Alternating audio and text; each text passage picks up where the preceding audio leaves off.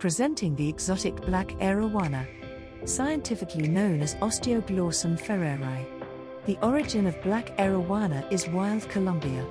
Black arowana, found in blackwater stretches of the Rio Negro, Upper Orinoco, and Vaupes in South America, the black arowana is a sought after species due to its vibrant iridescent coloration and color-trimmed black fins.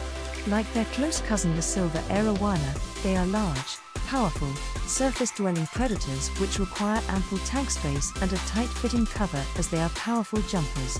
Black arowana are generally peaceful towards any tank mates too large to be eaten, but territorial towards each other unless kept in larger groups.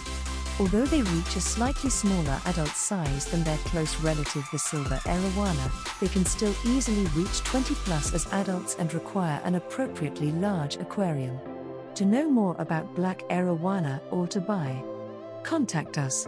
Also, you can visit our website www.lmpetshop.com. Don't forget to like our videos as a gesture of inspiration.